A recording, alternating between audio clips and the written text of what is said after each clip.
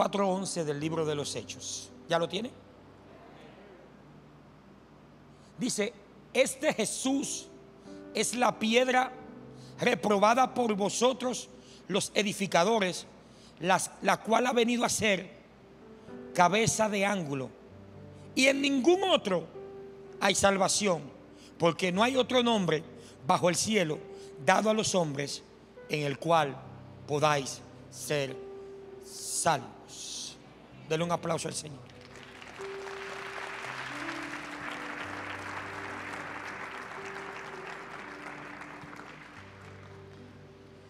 Esta historia, la cual le voy a hablar esta noche, unos minutos, habla de, en aquella ocasión, en el verso 3, usted lee, cuando Pedro y Juan suben a la hora novena, encuentran aquel cojo, el cojo de la puerta de la hermosa. Y tienen por hacer lo que Jesús mandó hacer, sanar a los enfermos. Sanan al hombre y el concilio, los atacantes, los que están en contra de lo sobrenatural, los que no lo entienden, por ende lo critican, los que viven bajo una sola dimensión, por ende no entienden cuando Dios se aparece en otra, tienden a criticarlo. De hecho, ese fue el problema grave de Elías. Diga Elías. Elías conocía a Dios en una sola dimensión, en la del fuego, la del estruendo, la del desbaratar gente, quemar, hacer. Por eso es que cuando llega el viento recio, dice, llegó el terremoto, aquí está. El, el viento recio, el fuego y el terremoto era la evidencia para Elías, conforme a la dimensión que él estaba acostumbrado. Porque ese era el Dios que él conocía. Por eso en el siglo apacible no lo entiende, no lo reconoce. El reino de Dios es algo tan extensivo y tan grande que lamentablemente desde tiempos antiguos y hasta el sol de hoy tenemos un problema muy grave. Y es que la interpretación de lo que es en verdad el reino se ha tomado en diferentes disyuntivas, las cuales la gente ha tomado su propia, ¿cómo se puede decir? Para no ofender a nadie. Su propia conclusión de lo que es el reino. Unos dicen que es quítate, eso es el reino. Otros dicen que es ponte, esto es el reino. Unos dicen que es súbete, eso es el reino. Otros dicen bájate, eso es el reino. Y ha venido ese problema y ese conflicto en las iglesias de aquel entonces y hoy en día. Porque nadie se quiere poner de acuerdo. A su nombre. Cuando la Biblia da un parámetro claro y específico, ¿qué es el reino de Dios? Primeramente Jesús dijo, mi reino no es de este mundo. Y si no es de este mundo, nada tiene que ver con él. Después Jesús dijo, mi reino no es comida ni bebida. Hablando en el asunto de que mi reino no tiene que ver con liturgias o cosas humanas que ustedes hagan. El problema de hoy en día es que el reino, se, y eso fue allá. Mire, hasta Jesús se enfrentó al mismo problema, porque por eso lo dijo. Pero el problema de hoy en día es que la interpretación de lo que se entiende que es el reino es que tú tengas una buena casa, un buen carro, una buena cuenta de banco, que tus hijos estudien en Harvard o no sé dónde. Eso es reino. Eso no es reino. Esos son migajas de su gloria. Y en muchas partes, no aquí, diga no aquí. Y en muchas partes, si tú no tienes ese estándar conforme a lo que se supone que se entiende que es el reino, tú no eres del grupo. Tú no vives en el reino. Tú vives en miseria, estás bajo maldición. Juan el Bautista predicaba en el desierto, tenía un cinto de pelo de camello, comía langosta y miel silvestre y ponía y tenía el reino. Yo no sé si le estoy predicando a alguien.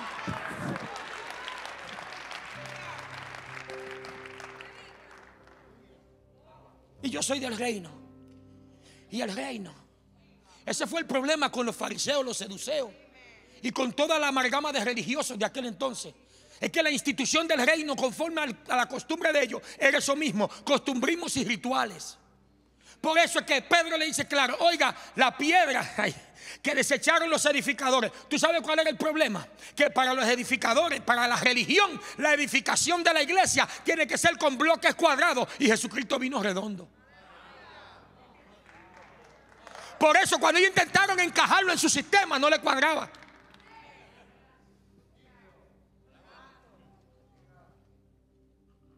Aquella piedra que fue cortada no por mano de hombre. La interpretación de eso está en Juan 3:16. De tal manera amó Dios. Él fue que la cortó. Por eso es que no le encaja al sistema religioso. Por eso yo y la religiosidad no caminamos juntos. Porque la religiosidad, yo no he visto hasta el sol de hoy nada que la religiosidad haya hecho bueno por la iglesia. La religiosidad divide, la religiosidad cautiva, la religiosidad esclaviza, mantiene a la gente bajo un ritmo de ritualismo que ni ellos entienden si están bien o están mal.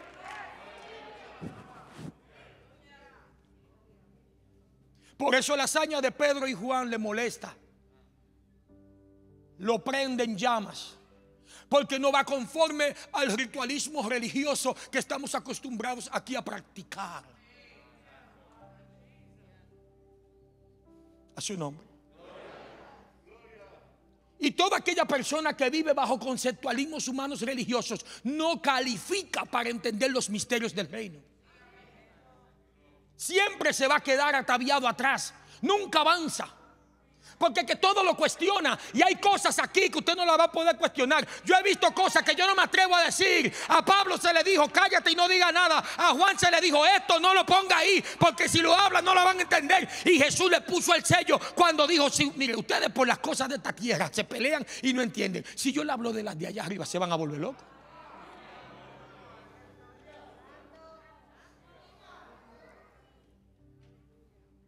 No es que yo soy del reino. Porque tengo tantas casas, tantos carros, la cuenta de banco. Mis hijos estudian en, bueno, los míos no están estudiando, están estudiando en Harvard, no en Harvard. Pero están estudiando. Tú no eres del reino.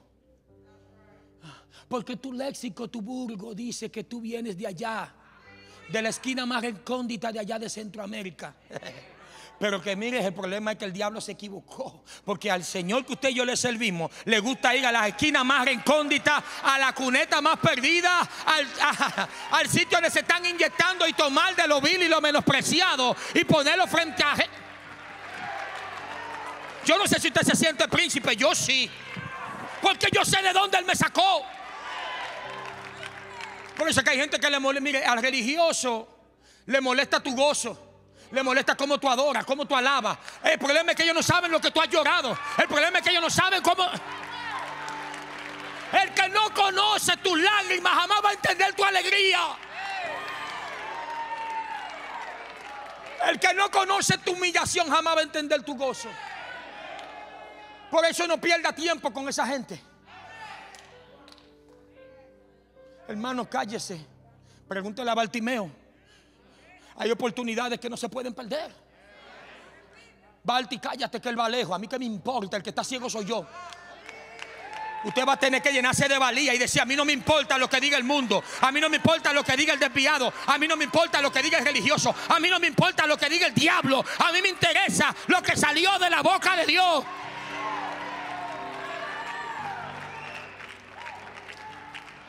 Me voy, te voy a matar a tus hijos, me voy a llevar a tus hijos en la droga. Mentira del diablo.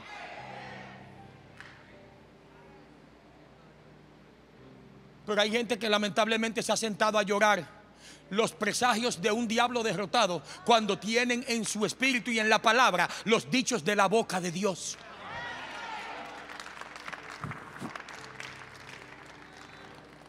Porque ese problema que el diablo lo que tira son presagios. Él no tiene verdad porque Él es padre de mentira. Y no hay ninguna verdad en Él, así mismo lo dijo. Y yo me voy a sentar a llorar ahora los indicios preságicos de un diablo derrotado que ya está bueno de que le hagan caso. Me gustó algo que hizo el profeta Martínez. Si Jesús lo puso debajo de mi pie, ¿qué yo hago escuchándolo en mi cabeza? Habla con mi pie, diablo, ahí, mira ahí. Ahí donde tú estás cada cual en su posición.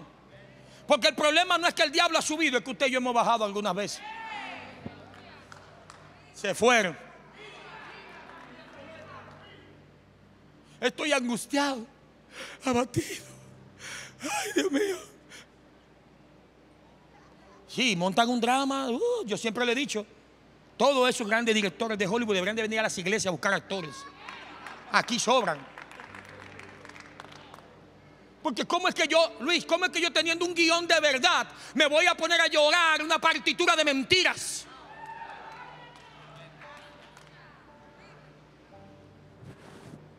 El Señor desde el día, desde antes de tu nacer, le entregó un guion de tu vida y te dijo, esto es lo que tú vas a hacer en mí. Que yo hago mirando la partitura de lo que el diablo está vociferando. Esto es reino, le estoy predicando del reino y usted está tan estable como que... Le estoy informando cómo instituir el reino en su vida. Porque no podremos instituir el reino en la salvación al de afuera si primero no lo digerimos nosotros aquí adentro. Porque usted no puede predicar de lo que no tiene porque nadie da lo que no tiene.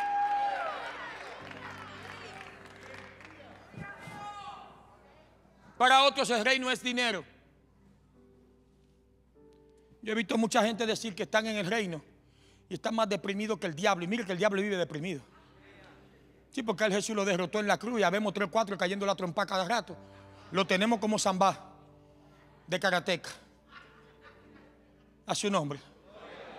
Y tú ves ciertos cristianos tan deprimidos. Y yo, mire, yo sé, hermano, que hay cosas que nos van a angustiar. Yo he sido angustiado. Hay cosas que nos van a golpear. Porque es que no somos de goma. Y hasta Jesús, el mismo Jesús, que se queda cuatro días a propósito para que Lázaro se muera y no digan que el espíritu le estaba dando vuelta porque era un costumbrismo, era una religiosidad que decían que en Israel los espíritus le daban vuelta tres días. Entonces dice, si me llego al tercer día van a decir que fue el espíritu que se le metió. Vamos a esperar cuatro para ver qué van a decir. Si a él mismo, que se queda a propósito, Pastor Onelli, y de ñapa, cuando le dicen Lázaro, no, él mismo lo dice, Señor, Lázaro murió. Y qué bueno que yo no estaba ahí. Llega a la casa de Lázaro y rompe a llorar. No te entiendo, maestro. Y él fue a resucitar. Vamos ahora, que ahora que la cosa se va a poner buena en casa de Lázaro. Y nada más se llegaba a la puerta. Él mostró su lado humano. Pero no se quedó ahí llorando. Ay, Lázaro. Ay, ay. Y en mi país hacen unos shows buenos. Ese. Sí. Yo no sé, es el único país que yo he ido casi en eso. O hay otros por ahí. Pues yo me acuerdo cuando yo me criaba, sacaban y si, el si la persona se moría en una casa, despojaban todo un cuarto y ponían un colchón. Y de que todo el que le daba ataque le daban de estaba el colchón. Yo decía, ¿por qué no le den el piso duro? ¡Guay, guay, guay, guay! En el colchón. A todo el mundo le daba ataque donde estaba el cuarto del colchón. Y le pagan a lloronas también. ¿Cómo que se llamaba el tipo? Danilo. ¡Ay, Danilo! ¡Ay! Y la tipa nunca conoció a ese tipo. A su nombre. Un aplauso al Señor.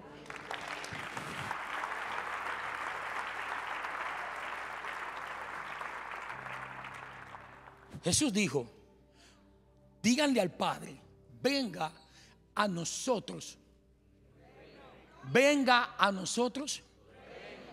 Lo que Pedro y Juan están estableciendo aquí y por lo cual lo están señalando, acusando, interrogando, es por simplemente establecer el reino de los cielos en la tierra.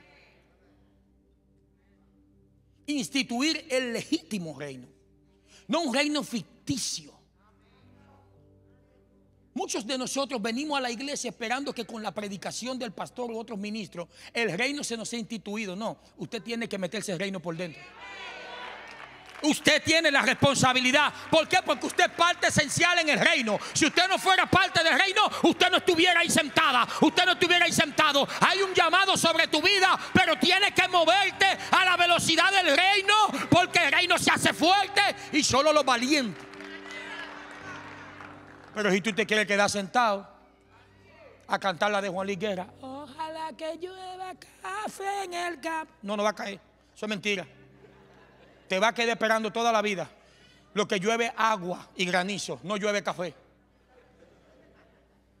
Lamentablemente, dicen por ahí, saldría más barato a su nombre. Hay gente que quiere quedarse en el letargo ilusorio de lo que dijo otro o de lo que quizás pueda ser. O como me dijeron aquella vez, ay, sí va a pasar. Mira, va ahí, ay, va a caer un aguacero de mango. Mira, ahí por ahí viene. No, no va a caer mango. Te va a quedar toda la vida esperando el aguacero de mango. Porque simplemente te acopiaste o vienes con eso instituido en tu espíritu. Es que como a mí me lo enseñaron así, así se queda. ¿Y si te lo enseñaron mal? Por eso Jesús, Ananías viene. ¿Cuál fue el que vino por la noche? El sacerdote aquel. Nicodemo, ¿verdad? Nicodemo viene por la noche. Y usted puede creer, el espíritu de religiosidad es tan desgraciado que él sabe. Él sabe que lo que usted está haciendo para Dios lo está haciendo bien. Porque oiga lo que le dice Nicodemo, maestro. Nosotros sabemos que tú vienes de Dios porque todo lo que tú haces, si Dios no está con él, no lo puede. Pero si ustedes lo saben, es que, es Dios sabe a quién manda. Porque si Él me manda a mí, pero buen desgraciado, si tú sabes que estoy bien, ¿para qué rayo me persigue? Y desgraciado de alguien que no tiene gracia.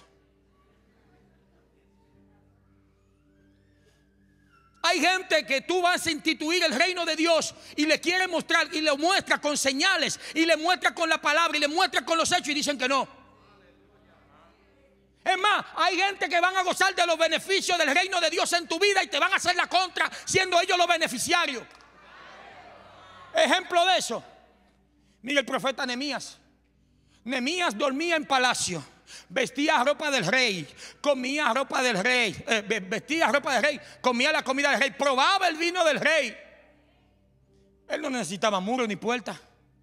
Pero él va a, la casa de los sepulcros de sus padres. Y allá se parecen Zambalato, Vía y el árabe Yesen. Los tipos que sí necesitan muros y puertas haciéndole la contra. Porque hay gente que te van a hacer la contra por causa del reino que tú portas, aún siendo ellos los que van a ser beneficiados.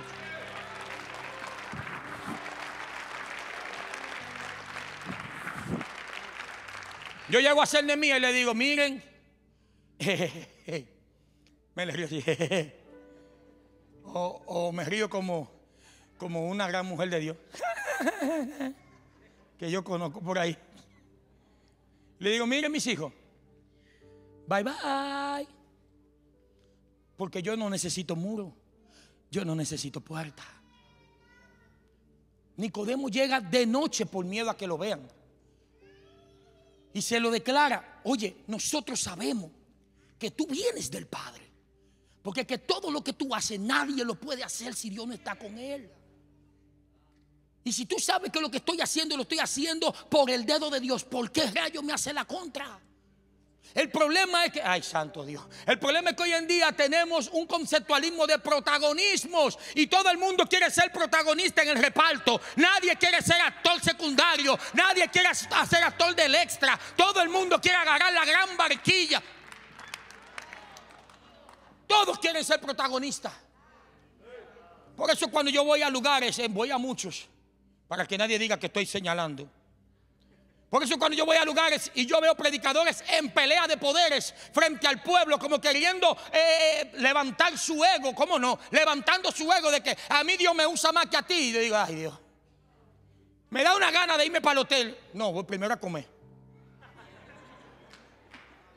Y después irme para el hotel y quedarme allá. Porque eso no es instituir el reino. Eso es instituir mi concepto personal. Quiero ser enaltecido. Quiero que me vean. Quiero, mire, yo, me conformo. Por eso que usted me ve a mí, que yo predico aquí y le recojo un chicle allá. Usted sabe cómo soy yo. Los de casa que me conocen. ay, santo. Los muchachos que le doy mentoría. A mí, me, a mí me da lo mismo. Pero el problema de un reino dividido es que no hay identidad de reino. Y este mensaje podría irse lejísimo y hasta se duermen. Porque el problema cuando el reino no se instituye es algo más allá. Es que no hay identidad. Cuando tú no tienes identidad de quién tú eres en el reino y la posición que a ti te toca, entonces tú quieres suplantar la posición del otro.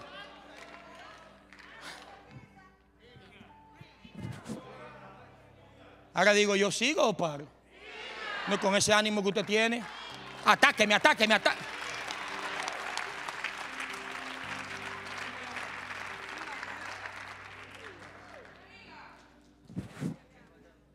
El Señor en estos días me decía, hijo, mire, y, y sentir al Señor llorando es triste.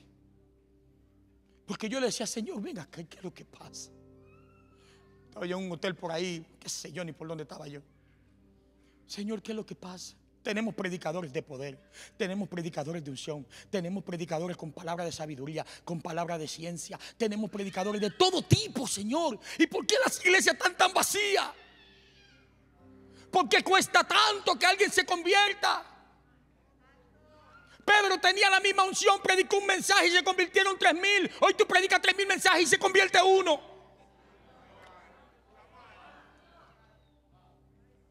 Y en mi sollozo y en mi intimidad con mi papá, él vino y me dijo, míreme, perdóneme porque que como yo lo vi, no se lo puedo decir. Pero no es tan solo, cuando el Señor viene a tu presencia, tú tan solo no ves, tú sientes. Porque el que se une al Señor, uno se hace con Él. Por ende, tú sientes lo que Él siente. La palabra se cumple. ¿Sabe qué me respondió? Me dijo, hijo, ¿tú sabes por qué las iglesias están vacías? Porque el mensaje que la llena no se está predicando. Yo dije, ¿cómo así, mi rey? Me dice, ¿hace qué tiempo tú no oyes un mensaje del infierno, no con el fin de acusar y mandar gente allá, sino con el fin de que se aperciban? ¿Hace qué tiempo tú no oyes un mensaje de que yo soy el camino, la verdad y la vida? ¿Hace qué tiempo tú no oyes un mensaje que jale las almas? Yo dije, Señor, enséñame a amar las almas. Anoche yo estaba en mi casa y no pude dormir, estaba con mi esposa, me acosté, me levanté. Yo no hallaba qué hacer y tuve que ponerme a orar hasta las 5 de la mañana. Y empecé a llorar porque yo le dije al Señor, enséñame a amar las almas. Enséñame a amar lo que tú amas. Enséñame a amar.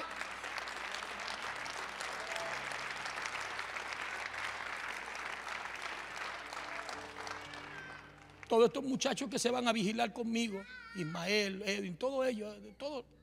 Yo le he dicho a ellos siempre, el negocio de Dios son las almas, la fama, la fortuna, la esposa, el carro, todo eso va a ser añadidura porque es Biblia. Primero el reino de Dios y su justicia. ¿Cuál es la justicia? Que vayamos a salvar la gente, que nos ocupemos de alguien. Ese es el eje del Evangelio. Por eso me puse una tacha, yo mismo me la puse. Y lo digo público. Mire, yo puedo ir a cualquier actividad y lo digo desde ahora. Pero si no es para salvar alma, a mí no me invite, yo no soy payaso. Y a los pastores que yo he visitado le digo, no me diga, o sea, no me midas el calibre de la actividad en la actividad. Dime después qué pasó. ¿Cuántas almas se reconciliaron? ¿Cuánta gente vinieron a decirte, hombre de Dios, mujer de Dios, quiero trabajar, quiero buscar la gloria?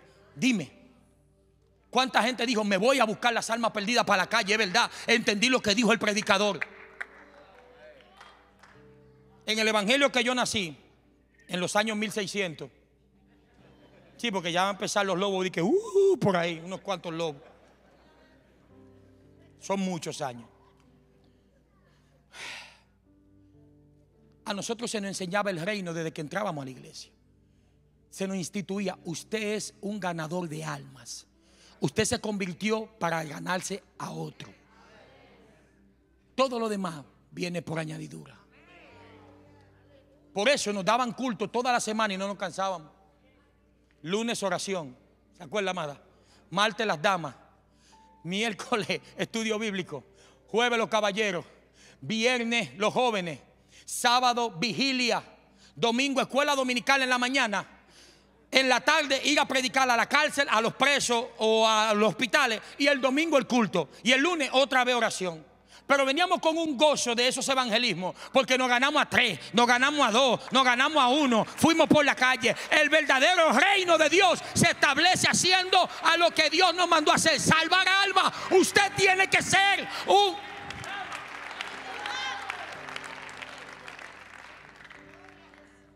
La gente va a venir a nuestra iglesia por los milagros, las señales, las cosas que, aquí se ven. Sí, el Espíritu lo va a traer. Pero también hay un trabajo que lo tienen que hacer tú y yo. Porque qué, dime, qué bueno que la gente está viniendo de diferentes lugares. Pero yo no puedo, ¿qué puedo decir de mi familia? Porque queremos muchas veces ir a salvar al mundo y mi familia perdía. ¿Mm? Queremos instituirnos, como dijo eh, el pastor Luis Joel, queremos instituirnos en diferentes posiciones, pero no hemos agarrado la verdadera posición como hijo de Dios y la responsabilidad que conlleva la misma. Sí, yo sé que este mensaje no iba a arrancar mucho aleluya, mucho gloria a Dios, pero yo estoy tranquilo. Porque hoy vamos a derrocar el espíritu de religiosidad. Hoy vamos a derrocar ese espíritu de que usted no es nano, usted sí es alguien, usted es un ganador de alma. Oye, el Señor te salvó para que tú salves a alguien. El Señor te ungió. Jesús dijo, el espíritu de mi Padre está sobre mí porque me ha enviado. ¿Por qué está esperando? Que el pastor te suba al altar y te eche aceite. Ven, yo tengo tres de, de transmisión ahí en la camioneta. Si por aceite avísame que yo te echo todo el que tú quieras. Ahí es que vas a salir a decirle el testimonio de Cristo sobre tu vida. Cómo Él te rescató del alcohol, cómo te rescató de la droga, cómo te rescató de cualquier espíritu de fornicación, adulterio, lujuria. Ah, ¿cuándo lo vas a hacer? Cuando te presenten en el público. ¿Qué público? Muchas veces Jesús hacía milagros y decía, no se lo diga a nadie. quédate callado. Y yo me preguntaba, Señor, ¿por qué ven acá? Y tú no viniste para eso, para que la gente... Y él me dijo, lo que pasa es que hay cosas que había que dejarlo en el silencio. Pero no, pero nunca se dejaron de hacer.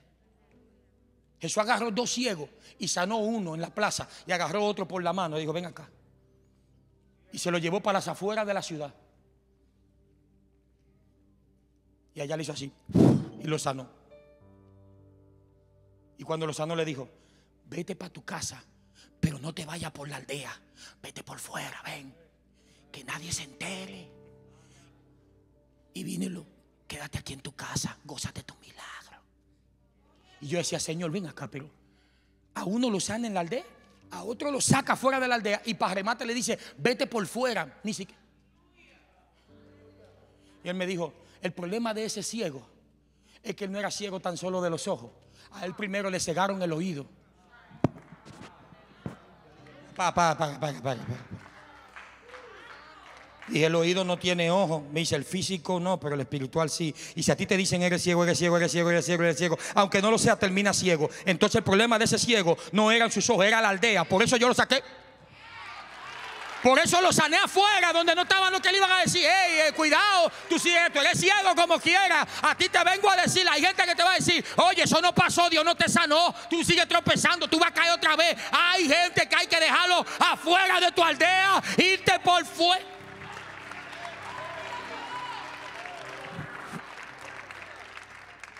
Porque hay gente, lamentablemente, que está diseñada para amalgarte la existencia. Que tú le vas a decir al Señor en muchas ocasiones, porque yo lo hice, o te lo lleva o te lo mando.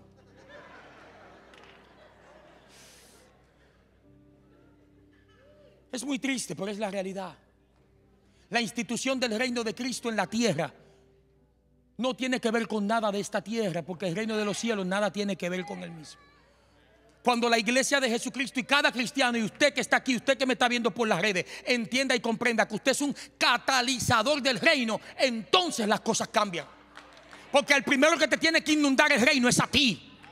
El primero que tiene que saber su posición en el reino eres tú. El primero que tiene que saber que es hijo, comprado a precio de sangre, aprobado por el Padre. El primero que tiene que creérselo y caminar como príncipe y princesa eres tú.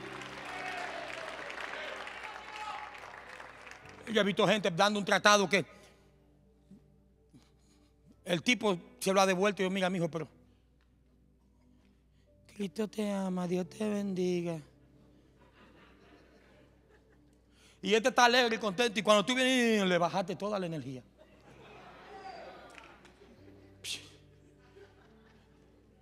Arrepiéntete, Cristo viene pronto. Con ese ánimo, hermano.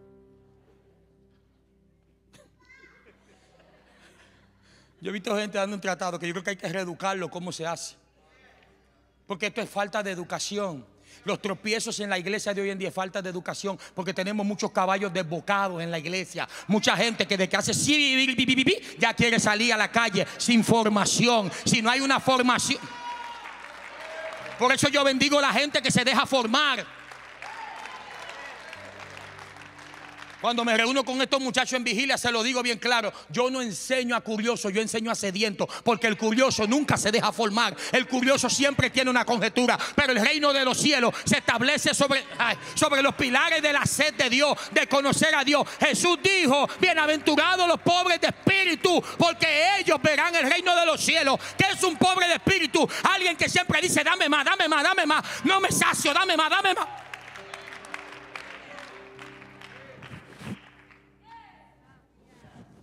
Hay cosas que yo no puedo hablarle aquí y le prohibí a los muchachos que la dijeran. Cosas que hemos visto, manifestaciones que se han dado aquí y fuera, en los montes.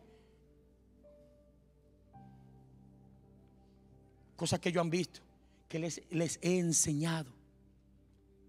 Que usted es más que un pedazo de humano natural, terrenal, carnal.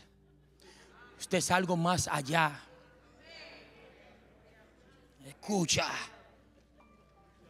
Usted es algo más que eso. El diablo se ha encargado de llevar al ser humano a un punto de entender que es una partícula de carbono la cual evolucionó con los tiempos y de un pececito salió un ser humano. Teología de Darwin. Mentira, Darwin se lo llevó el diablo con toda su teoría.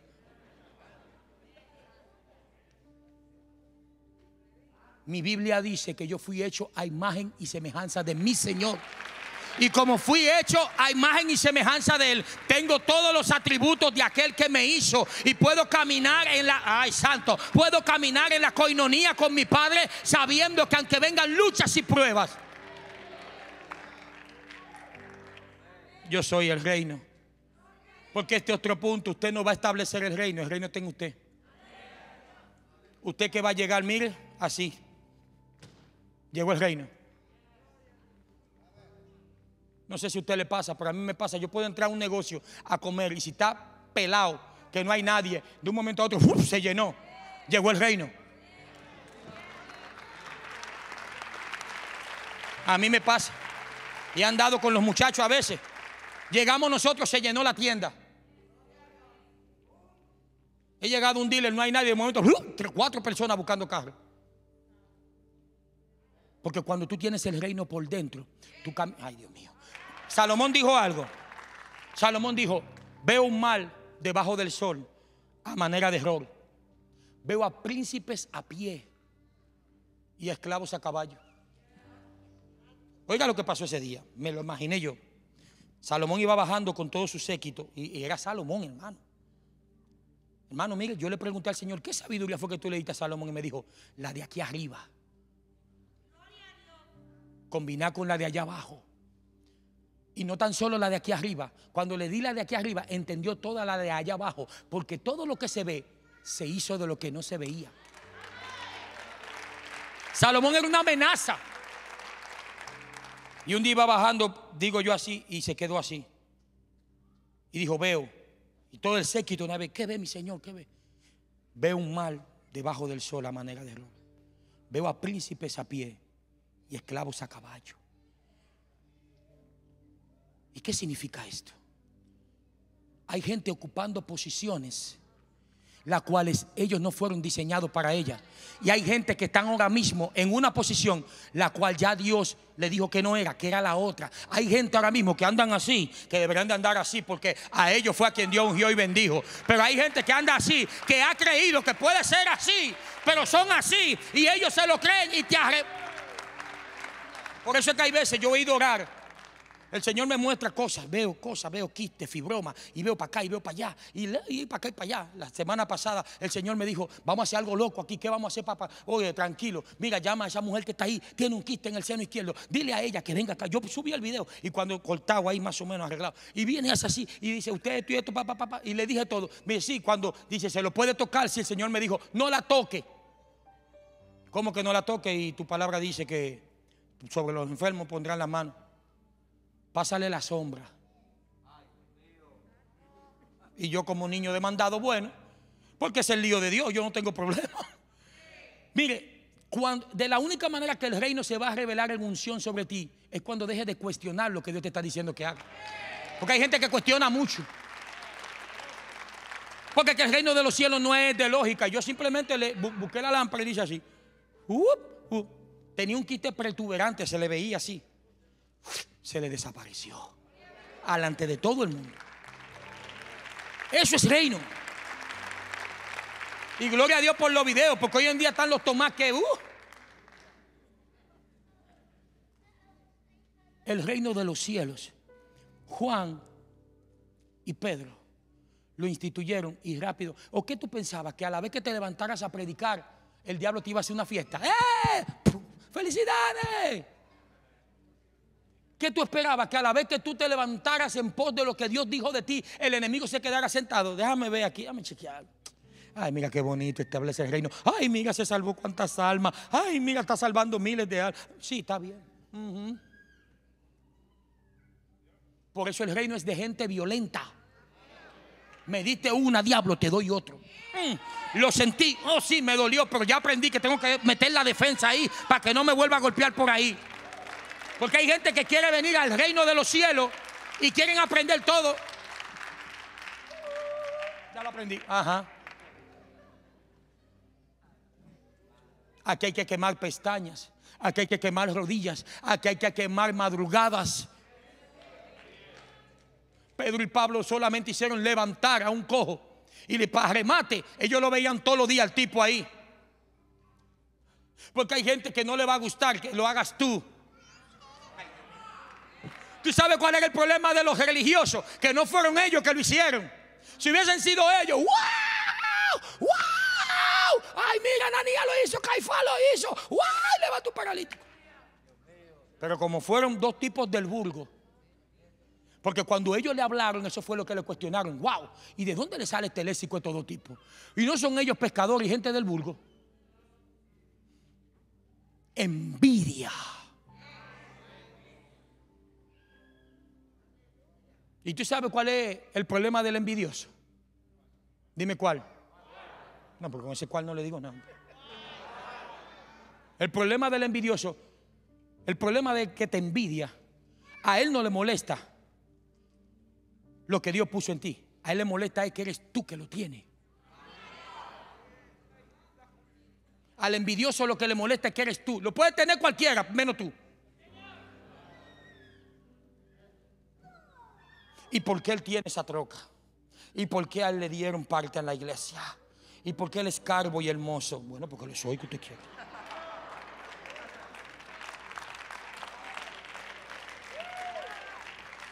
Los que me conocen y me han visto en problemas de cabildeo y eso, saben mí, cómo yo soy. Para mí sacarme de mi casilla se necesita mucho. ¿Usted sabe por qué? Porque yo aprendí a tener identidad. Que tú eres esto, que eres lo otro, y tal, para cual, la, la, la. El reino me dio identidad. Porque es una de las primeras cosas que hace el reino, darte identidad.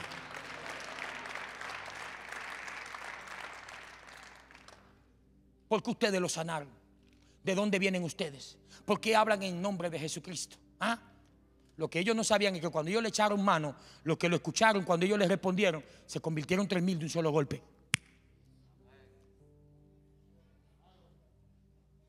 Mientras ellos estaban allí interrogándole, afuera habían tres mil esperando lo que volvieran para que le predicaran otra vez. Porque cuando el reino está en ti, la unción es tan fuerte que aunque tu enemigo te esté señalando en ese momento, hasta en el medio del señalamiento, tu palabra le predica, tu respuesta le predica, tu respuesta le habla al otro. El testimonio, el Espíritu da testimonio de que somos de Él.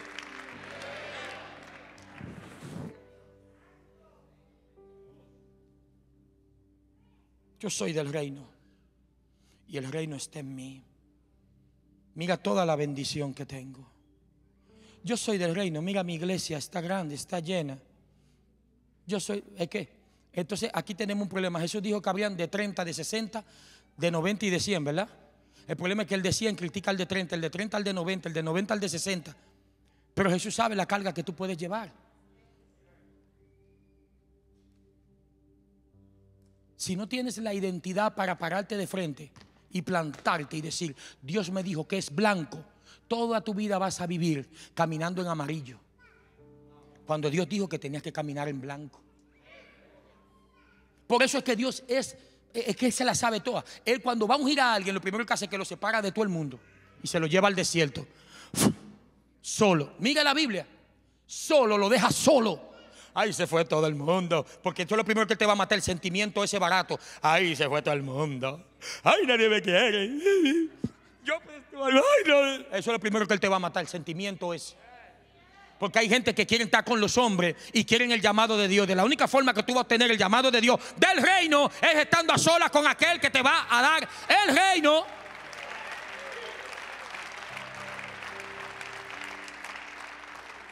Todos se fueron.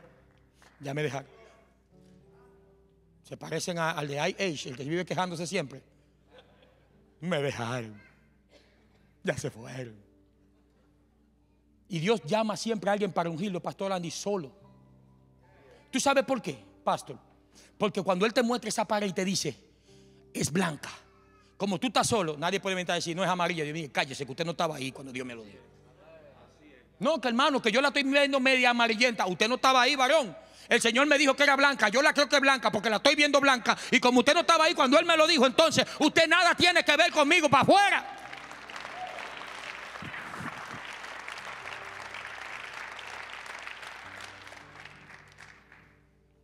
Y hay un punto donde no me quería meter, pero me dijeron que me meta. Con todo y el aire prendido. Yo soy del reino.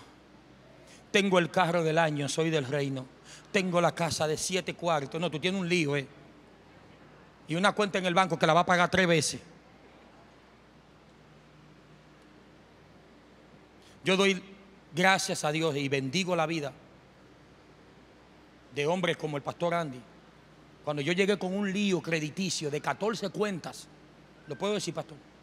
14 cuentas dos casas y dos carros en Puerto Rico y 14 cuentas. Yo iba a los sitios, hermano, de Capedifia y me sacaban a trompar. Dios lo utilizó, ¿por qué? Y Él me ayudó y arreglamos el asunto. ¿Por qué? Porque yo vi una predicación de, un hombre de Dios que casi nadie quiere, Pastor Casi Luna. Él estaba hablando la maldición de la deuda. Y cuando ese hombre declaró eso, hablándole en la temática espiritual, porque la Biblia dice que el deudor se vuelve esclavo de quién? De su acreedor. Entonces usted en lo espiritual examina un esclavo para que usted vea. Usted no tiene voz, usted no tiene voto. Todo lo que persigue ese hombre espiritualmente lo va a perseguir usted. Y cuando ese hombre empezó a disertar, de hecho, me acuerdo hace muchos años, en esa maratónica traía Maldonado a predicar. Dijo, no, no, no, no, no, sigue, sigue, sigue, sigue, sigue. Porque que el reino no te mete en deuda, el reino te saca de ella. ¿Tú has visto un príncipe endeudado? ¿Tú has visto un rey endeudado? Mire cómo ni aplauden porque dice, eso fue para mí. Yo estaba en California hace dos semanas atrás y el reino es tan poderoso. ¿Con quién aquí andaba? Ni me acuerdo. Ah, con mi sobrino.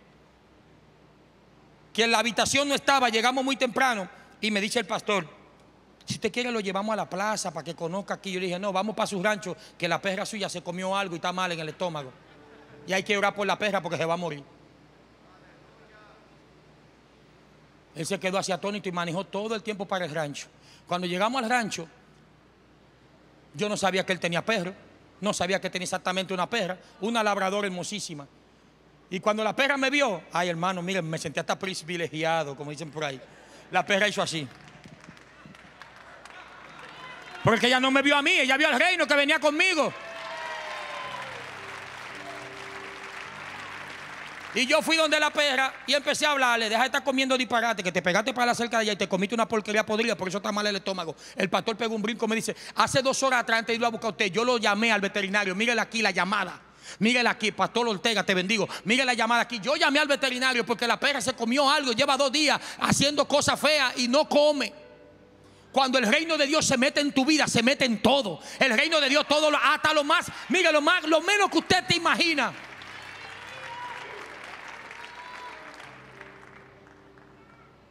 Por eso es que hoy en día los. Yo me pregunté, pastora, Señor, ¿por qué tú dijiste que la gloria postrera sería mayor que la primera y hoy en día escasea? Es todo lo contrario.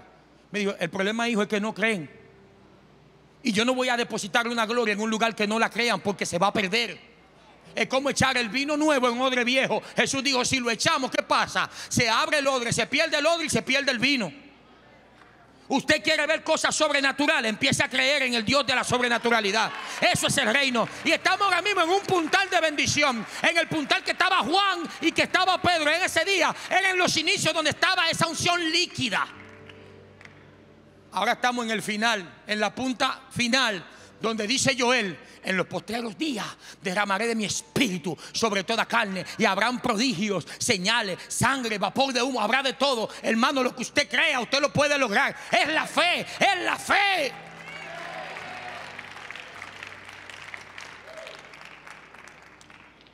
Yo tengo el reino encima, ya voy terminando. El reino es mío. Estoy bendecido.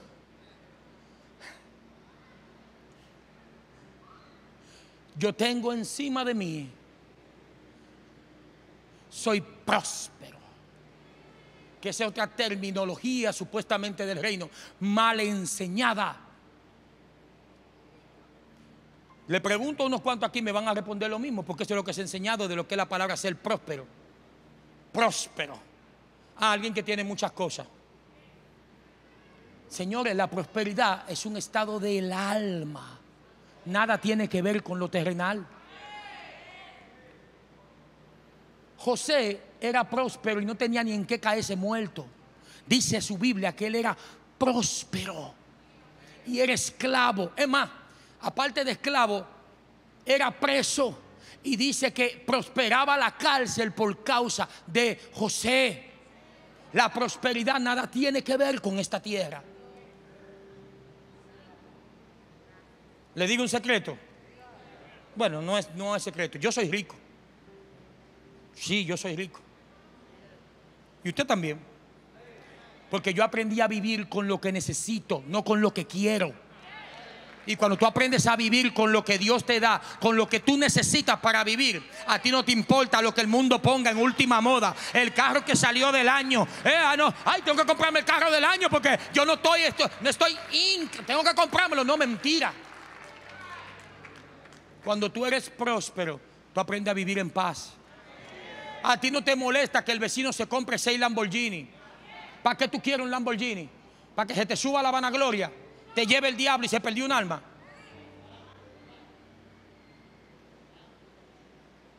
Aprende a vivir como Dios dijo. Ya déjeme fue el pianista. Tócame, mi hijo. A su nombre. Dios le dice a Isaac, vete a la tierra de los amorreos y abre todos los pozos que tu padre Abraham abrió. Nada más hizo Abraham hacia así, mire, y se, se secan todos los pozos. Y para no dejarlo yo abierto, yo le echaron tierra. Pero como había alguien que había dado esa unción, entonces él vuelve para allá. Porque el hombre es próspero. Y viene y abre el primero. Estaba seco, por eso lo cerraron. Sale agua, porque el hombre portaba el reino encima. Vienen los príncipes y le dicen, hey, mira, eh, ok, tu papá lo abrió, se secó, tú lo reabriste, tiene agua, pero tengo en mi tierra, dame mi pozo. Quédate con tu pozo. Viene a la tierra de los eteos, sale agua, el mismo chiste, quédate con tu pozo. Viene al otro, en el quinto pozo, dice que solamente pico y salió un pozo de aguas vivas. ¿Sabe qué significa eso? salió un chorro de agua. Pero se estaba dando un, fenómeno en los otros pozos. Se secaban. He aquí el bien y la misericordia te seguí. ¿Tú sabes por qué en el último pozo salió a presión? Porque se venía acumulando de todos los otros. El agua seguía a Isaac por debajo. No por causa de quién él era, por causa de la unción que él portaba. Por causa del reino que él tenía encima. Los príncipes vinieron y le dijeron, bueno, mire, Pastor Andy. Eh, ellos entre ellos dijeron, miren señores, vamos a hablar claro, el hombre está ungido. No vamos a discutir, no vamos a hablar. Ustedes vieron. Nosotros abrimos un hoyo hasta China y no encontramos agua. El tipo nada más da un picotazo y sale un chorro dejemos el show, vamos a aliarnos con él. Isa, ¿cómo andamos? ¿Todo bien, papá? Sí, aquí todo bien. Porque es otra cosa. de la única forma que tú portarás el reino es que cuando tú sepas tratar a tu enemigo, cuando la bendición está sobre ti. Los mismos príncipes que lo despidieron y lo sacaron al desierto, cuando él sembró su semilla y dice que produjo al ciento por uno, que se hizo más rico y más poderoso que ellos, fueron allá después que lo votaron, manito, ¿cómo tú estás? Isaac pudo haber dicho, ah, ahora manito, ¿verdad? Bueno, desgraciado. Después que ustedes me sacaron de aquí, ¿verdad? Ahora que yo tengo más que usted. Oiga, Isaac tenía un ejército personal de 400 hombres armados hasta los dientes. Ahora no, ¿sabe qué hizo Isaac? Cocineros ¿Te acuerdas el pedazo de vaca aquel? Sí, sí. Lo que se lo van a comer mis hermanos están aquí. Porque lo que te dará autoridad en el reino sobre aquel que te ultraja, que te humilla, es que tú no lo trates como él está esperando que tú lo trates. Por eso los hermanos de José dijeron, nos va a matar. Y él dijo, no, yo matarlo por causa de ustedes que yo estoy aquí. Ahora es que yo lo voy a bendecir. Ahora es que yo lo voy. Hay gente que quieren llevar el reino, pero no saben tratar a su hermano. Desde que tienen dos salitas, dos plumas, porque ni ala entera son. Usted ve que se elevan, mire. Dios te bendiga, varón. Y entrar por su puerta con acción de gracia. No, ellos entran con una altivez.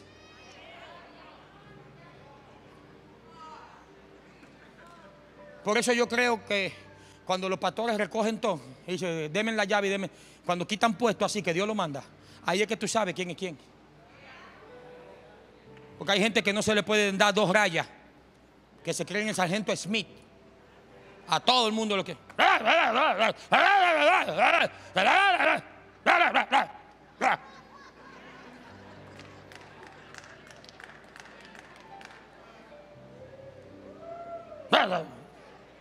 Por si acaso.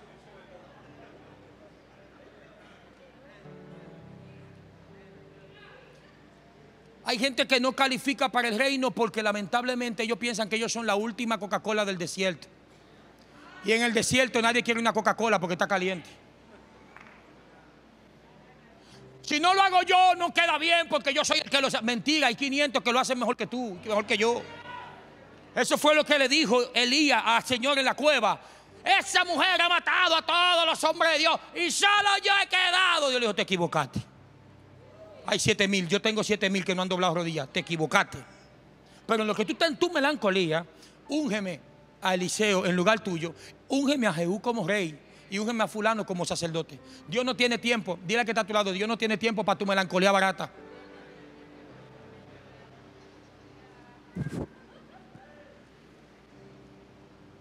Noemí se va con su esposo, el esposo se muere, Malón y Kelión, sus hijos también, vuelve a Belén, que es casa de pan, y cuando va entrando por la puerta la recibe, Noemí, qué bueno verte, no me llamen Noemí, llámenme Mara, porque estoy en gran angustia.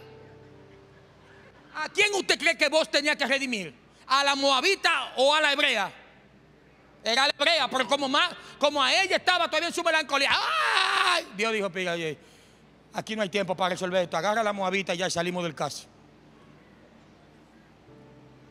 Pedro, ungido, lleno de Dios, pilar de la iglesia. Jesús lo coloca como primer pastor de la iglesia, lo instituye, lleno del Espíritu Santo. Se gana tres mil, se gana cinco mil y todavía Pedro sigue creyendo en el judaísmo. Por eso tuvo un altercado personal con Pablo. Pablo le dijo, ven acá Pedro, cuando tú vienes con los ancianos del concilio de Jerusalén, tú dices que hay que circuncidarse. Y cuando tú vienes solo, ahora dice que no. Por tu culpa Bernabé está preso. O eres de allá o eres de aquí.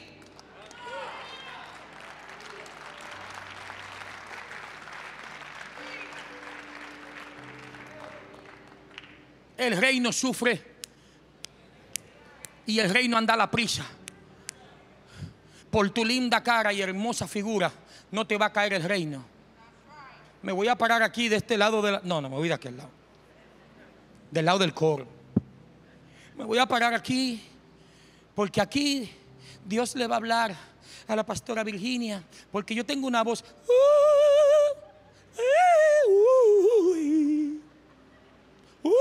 no va a pasar.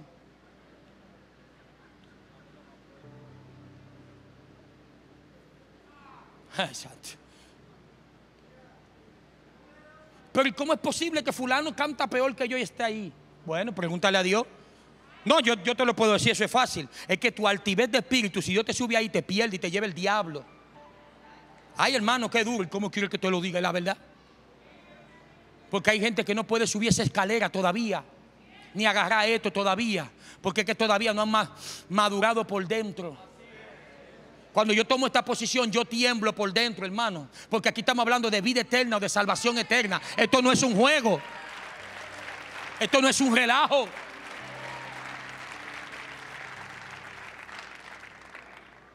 ¿Cuándo fue la última vez que le predicaste a alguien? ¿Cuándo fue la última vez que te ganaste a alguien? Hay gente que tiene años que no se gana un alma. Mi Cristo es mío. Mío, mío. Está bien. A su nombre. ¿Cuándo fue la última vez que le dijiste a alguien en angustia? No, y no te vayas lejos, a alguien de tu propia familia, que lo ves llorando todos los días, que entra al cuarto y se encierra, y tú lo que le pasas un plato de comida como si fuera un presidiario. Ven acá, tenemos que hablar.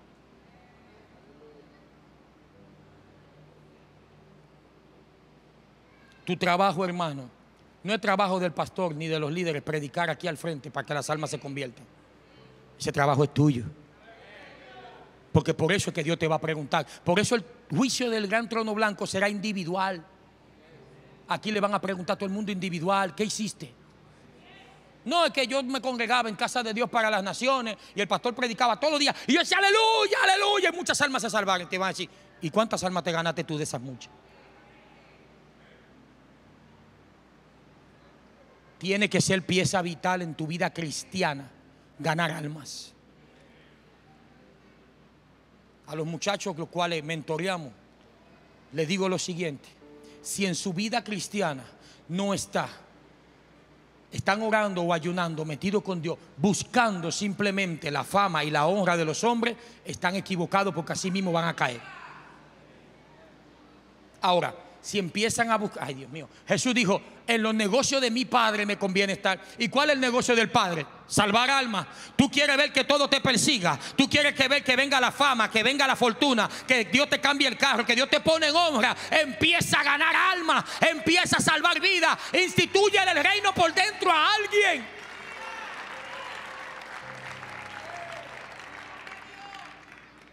Que se van a levantar, sí se van a levantar.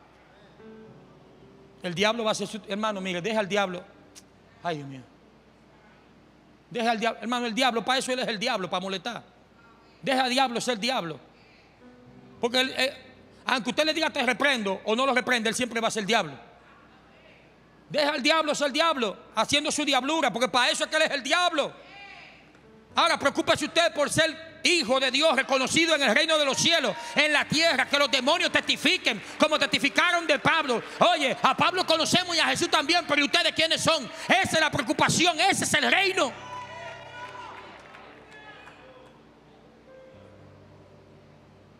Y esta noche tienes que entrar en oración y gemir delante de Dios por las almas, por tu familia principalmente. Se nos está perdiendo la gente en la cara. Hijos de cristianos de años suicidándose, hermanos ahorcándose. Porque el reino no se está instituyendo, porque el mensaje que salva las almas no se está predicando. Gloria a Dios y no porque estoy aquí por esta casa y por nuestro pastor, que ese ha sido su eje principal, oración y salvar almas. Por eso su vida evangelística él no la puede soltar, ni la va a soltar. Porque cuando tú amas las almas, tú te apasionas. Tú te apasionas, es una pasión, porque tú sientes el peso de Dios sobre ti. Hay gente que dice que sienten el peso de gloria, siente el peso de las almas. Siente el peso de la gente que está al lado tuyo. Ya deja esa cristiandad seca, vacía, muerta, apática. Hay gente que no parecen cristianos, hasta el perro de ellos, ni el perro lo quiere ya. Ven Firulay, ni el perro lo quiere. Dios le bendiga, hermano. Dios le bendiga. Jesucristo era un tipo sociable.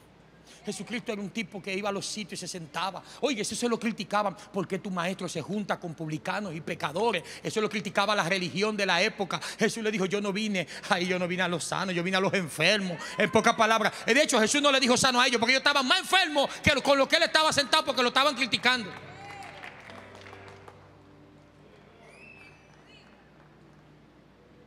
Hoy, el domingo, tú tienes que decir, yo me tengo que traer a alguien. Desde hoy, empezar a orar. Yo tengo que traer a alguien a la iglesia. Yo tengo que traer, métete eso en la cabeza, aquí, en la cesera, en la masa encefálica, allá atrás, en el metatarso, por allá atrás, qué sé yo, un sitio de eso. El me escondido. Ahí me corrigen lo que saben aquí de tu esa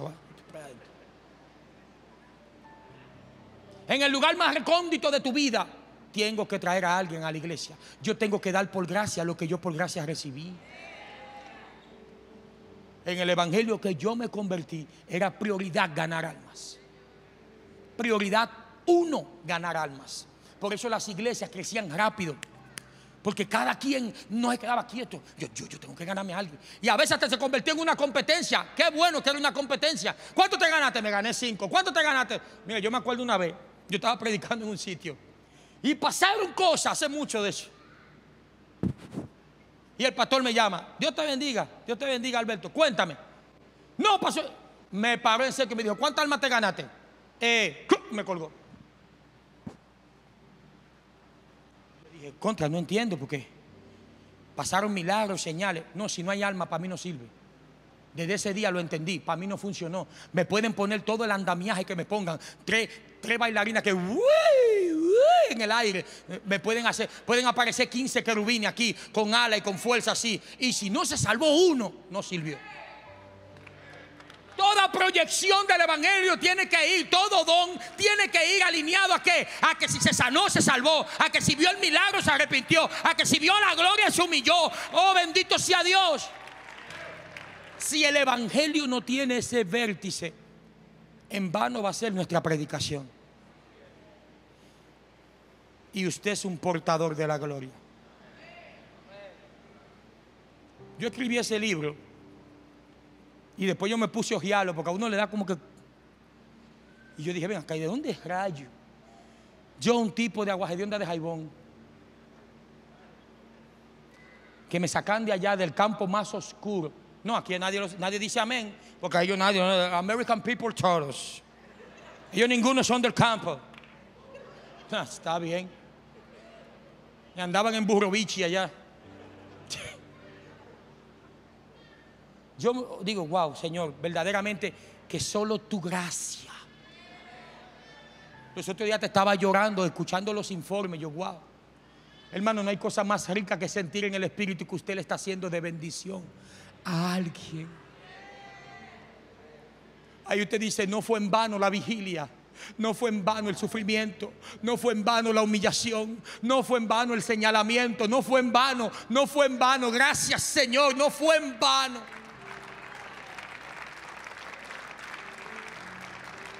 Y sabe, ya termino. ¿Y sabe qué es lo más bonito? Dígame qué. Con esta sí termino. Yo sí termino, tranquilo es que Él me sigue, después que esto salió, Él me sigue añadiendo. Porque Él te va a añadir de acuerdo a lo que tú busques. En estos días ya termino con este testimonio. Vengo en un avión y de repente lo veo que Él entra al avión. Yo estoy con mis ojos cerrados y lo veo y me dice, Gálatas 2.20. Y yo me lo sé de memoria. De hecho, es el eslogan de los jóvenes de esta casa. Gálatas 2.20. Y de una vez empieza la memoria. Con Cristo estoy juntamente crucificado. Y ya no vivo yo, mas ahora vive en mí. Mas ahora Cristo vive en mí. Dije, no entiendo. Sí conozco, he predicado del verso, pero no entiendo. ¿Qué me quieres decir? Me dice, dilo otra vez. Pues yo voy en un avión y voy ahí. Con Cristo estoy juntamente crucificado. Me dice, Pablo está diciendo, primero me hace una pregunta. Jesús dijo, el que quiera venir en pos de mí, niéguese a sí mismo, tome su cruz cada día y qué. ¿Quién dijo eso? Jesús, ¿verdad? ¿A quién fue que crucificaron en la cruz? ¿Y por qué Pablo dice que se crucificó con Cristo? ¿Por qué Pablo dice que él no está crucificado con, con, con la oveja, sino con el león? ¿Por qué él dice que está crucificado con el resucitado, no con el que murió?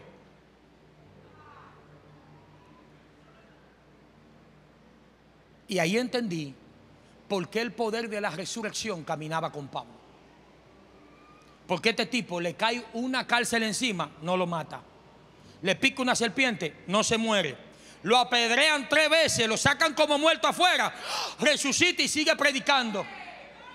Y yo dije, ahora entiendo porque de lo que tú hablas, de la abundancia de tu corazón, va a hablar tu boca. Como él hablaba del resucitado, el Cristo, el Cristo. Lea la carta Paulina y va a encontrar que Pablo muy raro decía Jesús, era Cristo, Cristo, Cristo. El poder de la resurrección se manifestó. Por ese Eutico se cae de un tercer piso, se explota. Dice que Eutico se cayó de un tercer piso, no fue de sus pies. Y Pablo va allá abajo, lo alma. Este riñón va aquí, este pulmón va allá. Se le tira encima, lo resucita y va y lo siente en una esquina.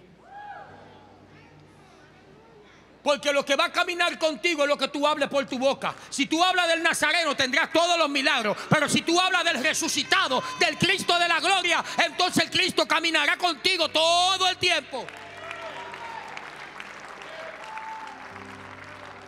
Por eso es que al igual que Cristo, Cristo dijo, ustedes no me van a matar, yo me voy a entregar. Pablo igual dijo, bueno Señor, ahora sí me tengo que entregar. He peleado la batalla. Estaba escribiendo su acta de defunción. He peleado la batalla. He acabado la carrera. He guardado la fe. O sea, ustedes no me mataron cuando les dio la gana. Yo me voy a morir ahora que Dios dijo que es el tiempo. Porque cuando tú caminas con el poder de la resurrección, las cosas cambian.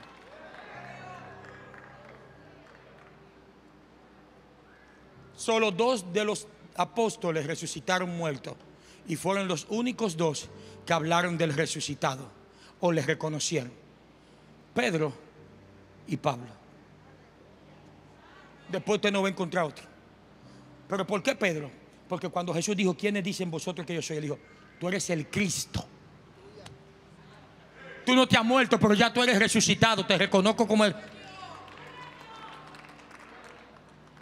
y otra cosita más que van para el código Cristo. Así se va a llamar. Póngase de pie que yo acabé. Mas él no sé. A su nombre.